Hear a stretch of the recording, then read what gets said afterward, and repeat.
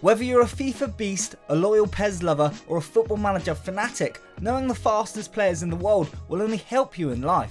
Okay, so that type of info won't help you win over any ex-girlfriends, and it rarely comes up in any pub football trivia machines, but no matter what game you're playing, no matter what position you need filled, one of these guys will provide you with some burning pace. And what more could you need? Top Corner Gaming was at it again, smashing the database with every league in every division, and the best scout in the world, aka Liam Curtis, that's me, he's filtered through almost 150,000 players to bring you this, the world's fastest 11 on Football Manager 2018. The sheer speed in this team is absolutely unrivaled. The quality, meh, that's a little more questionable. But first out the blocks, and we have Serbian 23-year-old goalkeeper Dejan Stanovukovic. He's actually pretty decent, considering his 37k value, 80 quid per week wages, and the fact that he plays in the Serb First Division, which by the way, that's their second tier. Yeah, his stats are alright, with 13 handling and 12s across the border. If you're a lower league club and looking for a blistering sweeper keeper, perhaps Dejan is your man, with 16 acceleration and 16 pace. In defence, we're going to work with a classic back four, and of course, those wing backs are likely to be the fastest players on the pitch. So at RB we have Hector Bellerin. We won't focus on the Arsenal man too much, I mean we all know about his blistering straight line speed, but effectively the Spaniard is only one of three players who have both 20 for acceleration and pace on the speed. Newcastle's DeAndre Yedlin ran a close silver but he didn't quite get onto the podium. Moving on to the LB slot and we have Demetri Mitchell. He's an under 23 at Manchester United, and I could have yet again found you a tasty little gem for anyone looking to mould a modern wingback with an elite level track speed 13 dribbling, 12 crossing, and enough ability to at least stand in an opposition's way with 10 for tackling. In reality, the 20 year old has only made the one senior appearance for the Red Devils, running out against Crystal Palace in May earlier this year.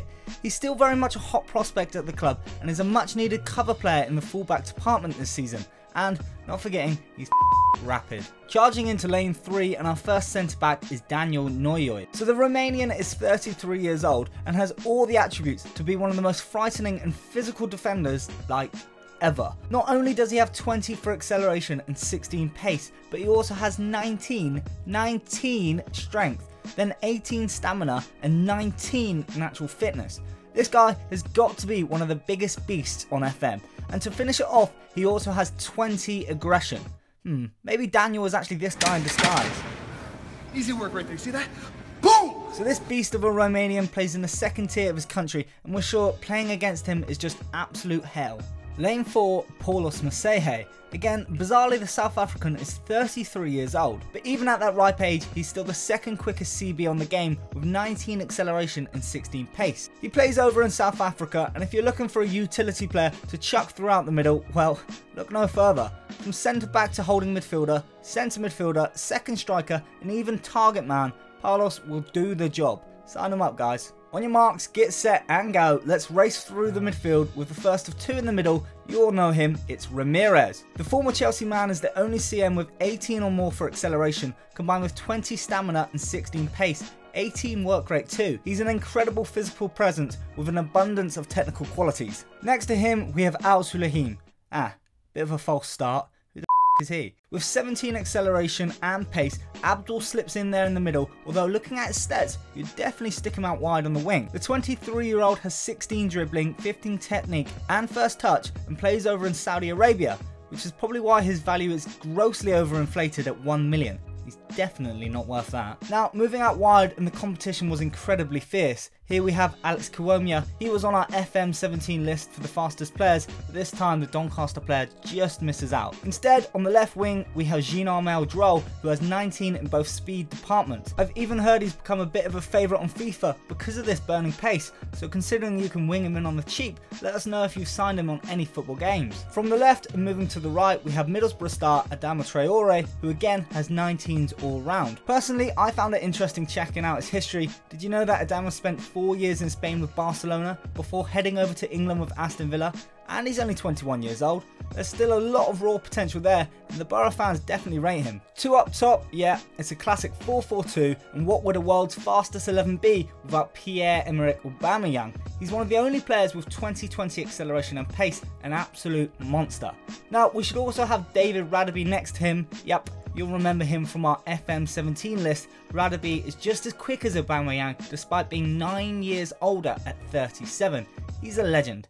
In fact, considering he retired a while back, we think FM just kept him on the game as a sort of cult hero. We love you Radaby, but we're going to mix it up here instead.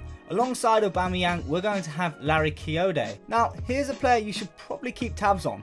The 24 year old is one of those Manchester City boys not getting a run in the first team. His 18 acceleration and pace has done some serious damage over the past few seasons though, hitting double figures for four straight campaigns in Israel and Austria before moving to the Etihad in a somewhat under the radar transfer. In real life, he's out on loan at Girona and you should definitely keep an eye on him if he continues to score goals. So that does it for HITC Top Corner Gaming's fastest 11 in the world, but just so you can witness the other end of the spectrum here, we have the one and only Ahmed Fadli Tamiri who plays in Singapore. He's uh, somehow only got one for acceleration and pace. I mean he's 20 years old and also has one stamina and four strength.